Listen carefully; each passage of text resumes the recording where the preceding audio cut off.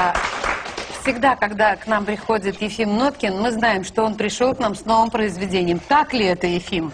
Нет, Наташа, сегодня нет, хотя, в общем, наверное, сегодня нужно писать, потому что после того, как а, э, президенту Обаме дали Нобелевскую премию, есть шанс у каждого, я думаю. Ты тоже доволен? Тоже доволен? конечно. Потому что мы с Наташей просто счастливы.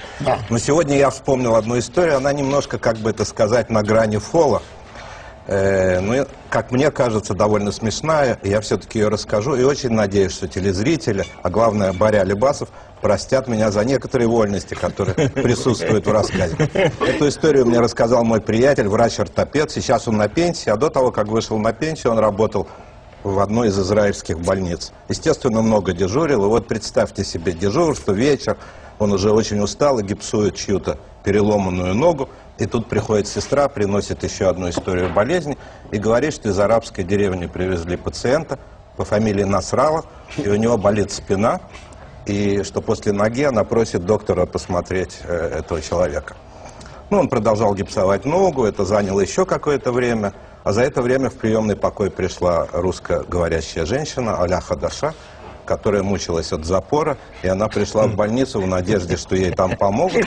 Она срала, наоборот, став ждать, вышел на улицу покурить и попить кофе.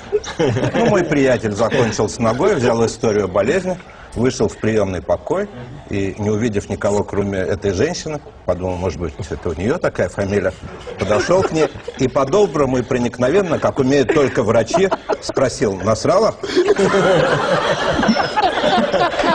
Женщина дернулась, покраснела, а потом выяснилось, что это был очень интеллигентный человек, кандидат филологических наук.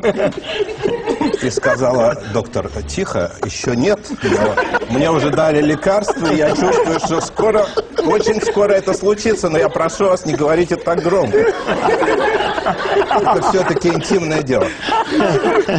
Мой приятель вернулся в комнату, почитал газету, посмотрел рентгеновские снимки, потом снова вышел в приемный покой. И опять увидев эту женщину, он уже несколько раздраженно спросил, насрала?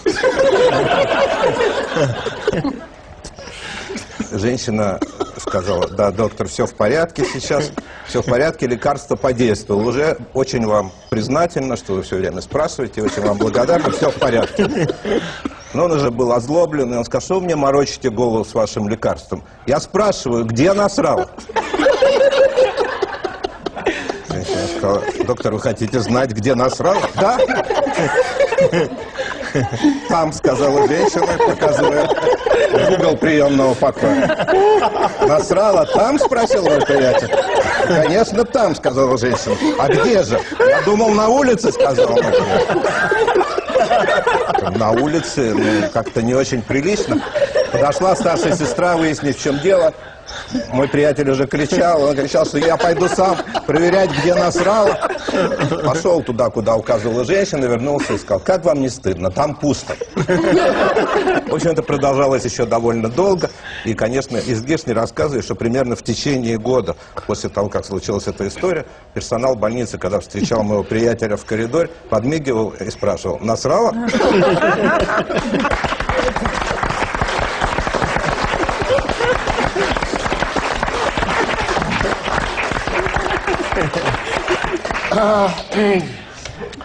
Только доктору можно безнаказанно рассказывать такую историю. Сегодня у нас действительно прекрасный доктор в гостях и рассказчик неплохой Ефим Ноткин.